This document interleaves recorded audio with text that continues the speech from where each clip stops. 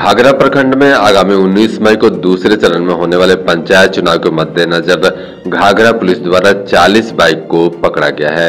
इस संबंध में थाना प्रभारी अभिनव कुमार ने बताया कि चुनाव कार्य के लिए ग्रामीणों की बाइक ली गई है, जिसे मतदान संपन्न होने के बाद आगामी 20 मई को ग्रामीणों को सुपुर्द कर दिया जाएगा।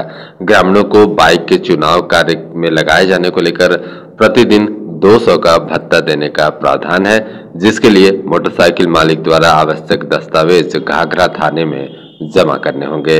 इधर बाइक को पुलिस द्वारा चुनाव कार्य में लिए जाने के संबंध में वीडियो सह निर्वाची पदाधिकारी विष्णुदेव कश्यप से पूछे जाने पर बताया कि पुलिस चुनाव कार्य को लेकर ग्रामीणों से थाना में बाइक जमा कराई है, जिससे चुनाव कार्य में पुलिस द्वारा अपनी आवश्यकता अनुसार प्रयोग में लाया जाएगा।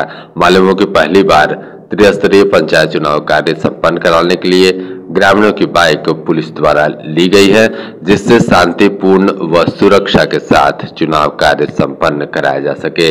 चुनाव कार्य में बाइक के प्रयोग के लिए घाघरा थाना गेट के सामने पुलिस द्वारा बाइक चालकों को रोककर बाइक थाना में जमा कराई गई। मालूम हो कि घाघरा प्रखंड में आगामी 19 मई को द्वितीय चरण में होने वाले पंचायत चुनाव के लिए कुल दो मतदान केंद्र है।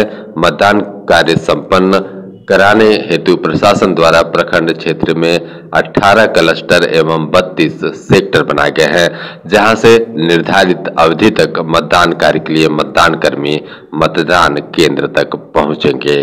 घाघरा, गुमला से संजय मिश्रा की रिपोर्ट।